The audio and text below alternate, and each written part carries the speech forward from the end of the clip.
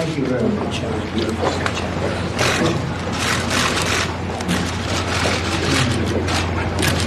So this was a long time in the making, It should have taken place many decades ago.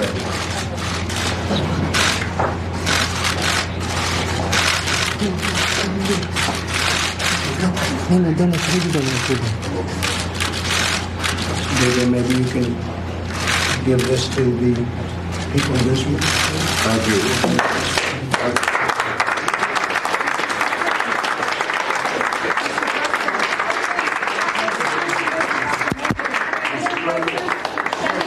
After signing this proclamation, after uh, recognizing Jerusalem, will your, will your hundred